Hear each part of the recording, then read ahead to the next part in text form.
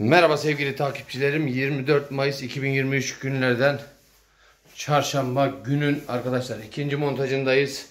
ECA Proteus Premix 28 kava 24 binlik cihaz dubleks dairemize taktık arkadaşlar. Eski kombimiz vardı onu sökerek şöyle geçen güne buranın alt katına bir budörüs takmıştık. Aynı dolapların içindeydi. Aynı şekildeydi birebir aynı. Şöyle kombimizin alt bağlantılarını değiştirdik. ECA Proteus Premix kombimizin montajını yaptık arkadaşlar. Burası Mamak.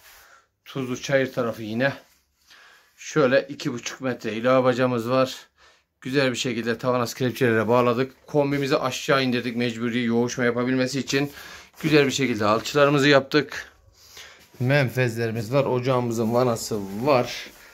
Arkadaşlar bu tarz işlerinizde Ankara'da kombi, proje tesisat gibi işlerinizde kesinlikle bizden teklif ve fiyat almadan karar vermeyin. Telefon numaram videolarımın altında vardır.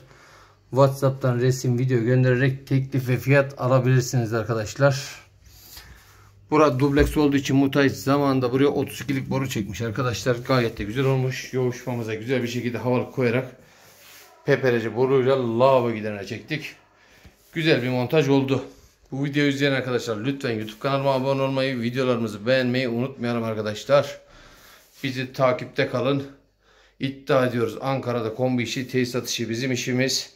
Kesinlikle bizden teklif ve fiyat almadan karar vermeyin arkadaşlar. Her şey gönlünüzce olsun. Sağlıcakla kalın, hoşçakalın.